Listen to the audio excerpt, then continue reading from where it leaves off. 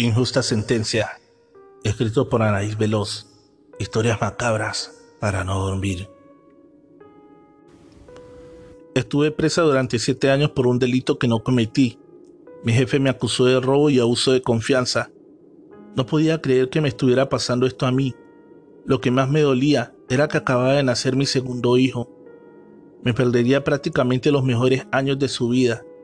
Estaba en los separos de fiscalía cuando me anuncian que tenía visita. Creí que era mi madre que me andaba buscando, que alguno de mis compañeros de la oficina le había avisado que había sido detenida. Pero qué equivocada estaba. El que entró a verme fue mi jefe y con un tono burlesco me dijo, ¿Qué pasó, Normita?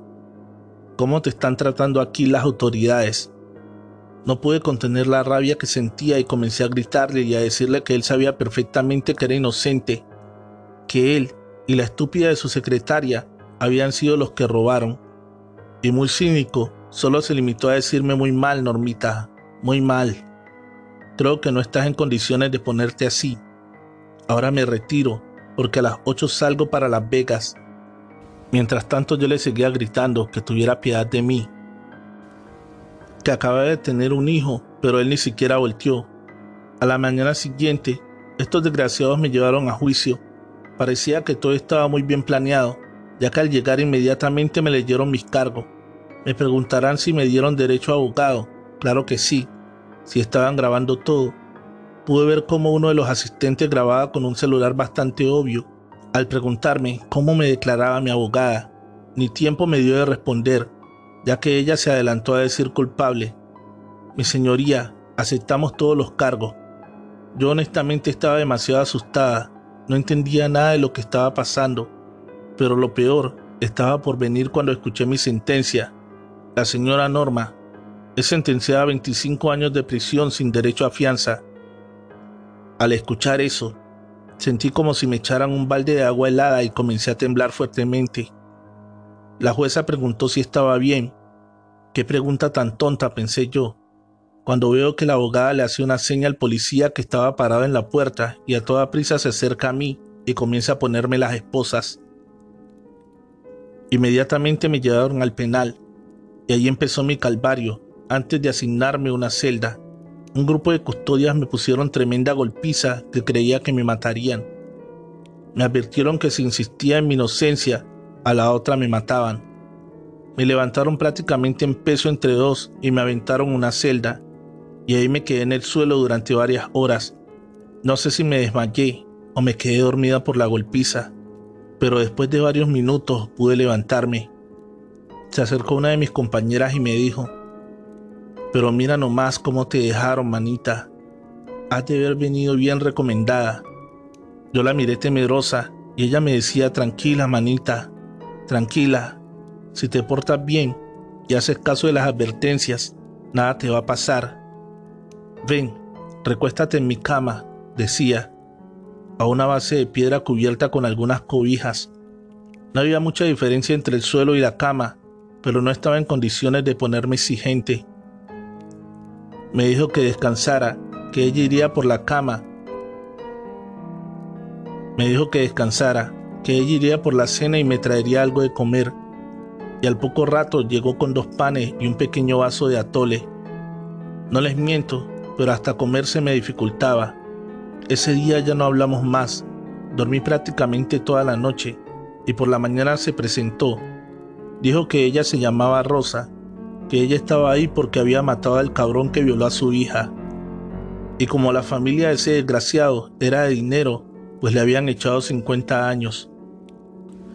Yo le dije que a mí me habían acusado de robo, incluso le platiqué cómo ese canalla se había ido a burlarse de mí.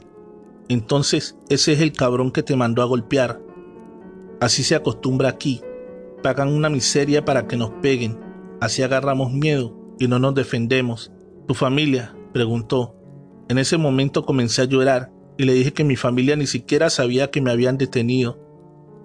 Uy, manita, No, pues sí que te tienen bien jodida. ¿No hay teléfono aquí? Pregunté impaciente. No, para eso necesitas permiso y a ti no creo que te lo den, porque eres nueva. Y si te doy el número, ¿crees que me puedas ayudar tú? ¿Tú crees que me voy a arriesgar a que me dejen como a ti? Ni loca, dijo, mientras se iba. Ni loca. Poco a poco me fui adaptando a ese lugar. Rosa me compartía de las cosas que le llevaba a su familia, hasta que después de casi tres meses me llaman a visita y ahí pude ver a mi madre y a mi esposo Martín. Casi no lo reconocía, ya que mi madre se veía que había envejecido bastante, al igual que mi esposo. Al verme se echaron a llorar y después de abrazarnos les pregunté por mis hijos. Ellos están bien, dijo Martín. Tu mamá me ha ayudado mucho, no te preocupes por eso. Ahora lo importante es que salgas de aquí. Pero ¿cómo es que se enteraron ustedes? Les pregunté curiosa. A lo que respondió mi mamá, que salí en todos los noticieros y periódicos de la ciudad, que según ellos había robado 15 millones de pesos. Yo les juré que era inocente, que con el tiempo se los demostraría. No tienes que demostrar nada, dijo mi afligida madre. Nosotros creemos en ti. Por ahora, lo importante es sacarte de aquí.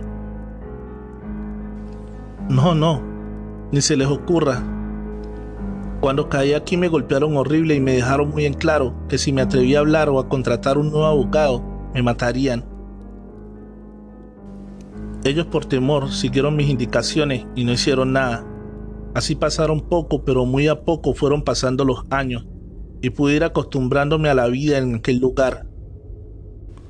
Rosa y yo nos hicimos amigas y en el tercer año cayó una mujer bastante elegante. Ella no había llegado golpeada como Rosa o yo, incluso algo extraño fue que la dejaron entrar con joyas. Nos acercamos a saludarla y a ver si necesitaba algo, ya que para nosotros también había sido difícil el primer día. Necesitar algo de ustedes, mis niñas. ¿Qué puedo necesitar de ustedes si aquí tengo a mi niña blanca? Más bien, dejen pido algo de comer, porque muero de hambre.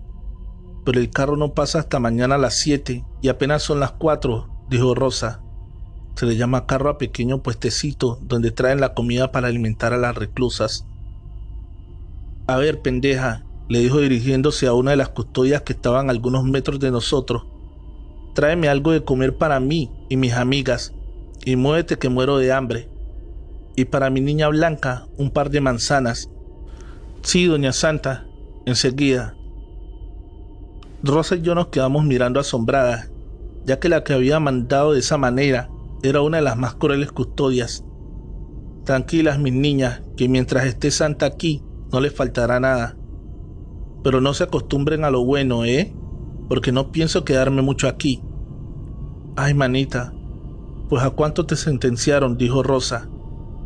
A diez años, pero con la ayuda de mi niña salgo rápido. ¿A poco tu hija es abogada? pregunté tontamente. Nada de eso, mi niña blanca es mi santa muerte, que me cuida y me protege. Y si te cuida tanto, ¿por qué estás aquí? Por culpa de un hijo de la chingada que se robó las ofrendas de mi altar. Ya me había advertido en sueño, pero no quise hacer caso. Y veme ahora, aquí castigada por mi niña.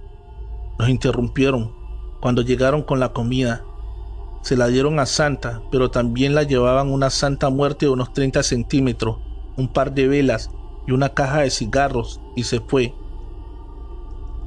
Yo le pregunté a qué hora había pedido todo eso, a lo que ella se limitó a decir que ella sabía muy bien lo que debían hacer Después de hacer un altar con cosas improvisadas que tomó sin pedirlas, se puso a comer y nos dio un plato a cada una.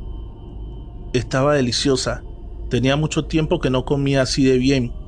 Pasta, carne y ensalada. Lo devoré en cuestión de segundos. Y cuéntanos más de ti, manita, preguntaba Rosa mientras hablaba con la boca llena. Ay, mis niñas, pues qué les puedo decir. Mi madre me puso santa porque ella también era muy devota de la Santa Muerte, y toda nuestra familia se ha dedicado al narcotráfico toda la vida, y los que han muerto han sido de viejos, ninguno por muerte violenta ni a manos de la justicia. Yo he estado varias veces aquí por culpa de los hombres, esos canijos son mi debilidad, pero ya dejemos de hablar, porque ya estoy cansada y quiero dormir. Pusimos los platos a un lado y nos fuimos a dormir, pero en la madrugada comencé a escuchar voces y al abrir los ojos pude ver a Santa de rodillas frente al altar y juro que aunque las velas no alusaban mucho, estaba una silueta negra detrás de ella y clarito podía escuchar cómo contestaba las súplicas de ella. Algo que me llamó mucho la atención es ver la manera en que se consumía el cigarro que le habían puesto. Parecía como si alguien lo fumara, así que temerosa cubrí mi cara con la cobija para que no se dieran cuenta que las había visto. En la mañana temprano, Santa nos despertó con el mejor desayuno. Estaba contenta, cantando, bailando. al preguntarle por qué estaba así, ella contestó, Mi niña me ha perdonado y hoy me voy de aquí. Ya no hicimos más preguntas, pero conforme pasaba el día, a ella no la llamaban para su liberación. Ya en la noche, nosotras sentíamos un poco de pena por ella y le dijimos que se durmiera un rato, que a lo mejor mañana saldría, pero ella seguía firme. Si mi niña dijo que saldría hoy, ella lo cumplirá. Tengo 50 años adorándola y nunca me ha fallado. No sé por qué tendría que hacerlo ahora. Estábamos por acostarnos cuando escuchamos que gritan, Santa, junta tus cosas, estás libre. Se los dije mis niñas, ella no falla. Lo único que se llevó fue la imagen de la Santa Muerte que le habían llevado. El resto de las cosas que compró, ahí no las dejó. Después de dos años, Santa volvió a caer con nosotros y hizo lo mismo que la vez pasada. Mandó a traer comida el par de manzanas y esta vez un par de botellas de vino. ¿Pero qué haces nuevamente aquí, manita? preguntó Rosa. Sabes, mi niña, que los hombres siguen gustándome mucho, pero esta vez pasé el límite. Mi santita ahora sí me ha castigado duro. ¿Pero qué pasó? Descubrí el cabrón de mi marido pasando la información a la policía. Y yo la traición no la perdono. Así que lo apuñalé mientras dormía y como tuve que huir a otro estado, olvidé cumplir mi promesa semanal a tiempo, y mírame ahora donde estoy. ¿Y qué va a pasarle? pregunté yo. Pues quedarme encerrada, lo que resta de la manda. ¿Y eso cuánto es? Seis meses, mi niña, pero bien merecido que lo tengo por fallarle. Ay, manita, dijo Rosa, yo ya voy para los 15 años aquí, y aquí mi manita Norma casi completa los seis años. ¿Y por qué no se acercan a mi santa para que la saque? Yo puedo ayudarla. Aprovechen ahorita que estoy aquí. A mí la verdad me dio temor, ya que siempre he sido muy católica. Pero Rosa aceptó, y Santa mandó pedir varias cosas para iniciarla y hacerle hija de la Santa Muerte. A mí me sacaron de la celda porque no podía estar ahí, y después de casi tres horas pude entrar de nuevo. Listo, dijo Rosa, por fin saldré de aquí y estaré con mis hijos. Deberías de hacerlo, manita. No es justo que te estés perdiendo el ver crecer a tus hijos. Lo voy a pensar, le dije para no seguir hablando del tema, y así pasaron 22 días, cuando sin ni siquiera esperarlo, le llegó su liberación. Estaba que no se la creía, lloraba y reía de gusto, pero antes de irse, Santa le dijo, espero que no olvides tu promesa, Rosa. Acuérdate que mi niña no perdona. No lo haré, Santa, te lo juro. La verdad estaba muy feliz de que estuviera libre, pero al mismo tiempo sentía un poco de nostalgia, saber que me quedaría sola, ya que Santa también se iría pronto. Así pasaron los días, y un día llegó mi mamá a visitarme, y Martín, y les pregunté, ya que solían venir siempre juntos, ay hijita, él se quedó con los niños lo que pasa es que a Pablito lo han aventado de los columpios y tiene su piecito fracturado. Eso me partió el alma, saber que mi hijo estaba enfermo y no podía estar yo para cuidarlo. Así que al irse mi mamá, estaba decidida, haría cualquier cosa por estar con mis hijos. Al llegar a la celda, le dije a Santa que yo también quería ser hija de la niña blanca. ¿Estás segura, Normita? Porque ya no habrá vuelta atrás le dije que sí, y después de mandar a traer todo para la iniciación, hubo una parte que me hizo dudar. Me dijo que tenía que darle a la santa a alguno de mis familiares, pero que no me preocupara, que no era nada malo, que al contrario, ella cuidaría bastante bien de esa persona, ya que la niña blanca protege lo suyo. Me quedé un largo tiempo pensando, mis hijos no. Por eso es que estoy haciendo esto. Mi madre y esposo tampoco. No sería justo si son los únicos que han estado siempre conmigo. Ya sé, mi tío Fermín, ese viejo ávaro que se quedó con la herencia que le correspondía a mamá. Después de que lo ofrendé a él, Santa me dijo que debía ser una manda que estuviera segura de cumplir, ya que por nada del mundo podía fallar. Y menos yo que le estaba pidiendo algo tan grande. Le dije que el último viernes de cada mes le haría un rosario en su nombre y cada que tuviera los recursos regresaría al penal a ayudar a algunas de mis compañeras en señal que no olvidaría de dónde me sacó ella. Siendo así, sellamos el trato, mañando con mi sangre de mi mano derecha la figura de la Santísima Muerte. Santa me dijo que mi proceso no sería tan rápido como el de Rosa, ya que yo lo había rechazado la primera vez. Pasaron tres meses cuando me anunciaron que tenía visita y fue bastante extraño, ya que mi madre había ido a visitarme el día anterior me llenaba de terror pensar que algo malo había pasado, y al llegar a la sala de visita, vi a Rosa. Me puse feliz de verla, aunque se veía muy delgada y demacrada. Al sentarnos a platicar, se echó a llorar.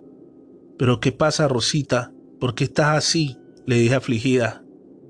Ay, manita, qué bueno que tú no aceptaste a ese maldito trato. ¿A qué te refieres, Rosa? A mí me ganó la ilusión de salir y le entregué a mi hija Prometí tatuármela, pero estando fuera olvidé pronto mi promesa. Hace cinco días mi hija me pidió permiso para ir a una fiesta y yo la dejé ir. ¿Qué peligro podía haber si sería ocho casas de la mía? Y cinco malditos animales la violaron y golpearon hasta matarla. Y ahora no me deja en paz. La veo deambulando por toda mi casa. Ya no puedo estar tranquila.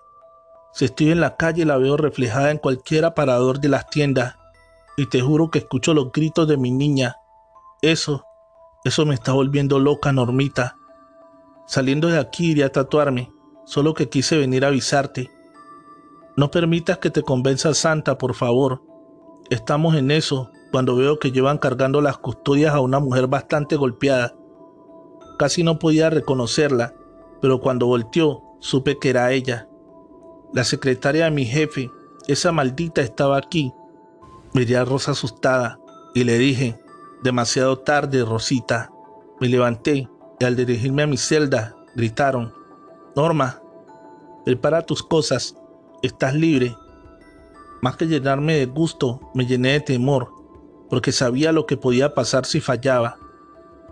Mágicamente mis problemas se fueron resolviendo solos. Al jefe también lo detuvieron, ya que después de la golpiza que le dieron a la secretaria, confesó todo.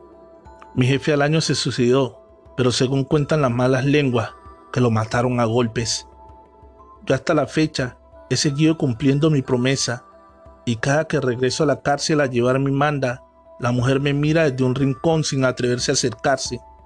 Muchos creerán que mi Santísima es mala, pero no es así, solo es justa, cobra por los favores realizados, así que si no estás dispuesto a pagar el precio al pie de la letra, no le pidas favores, porque siempre tendrás un trágico final.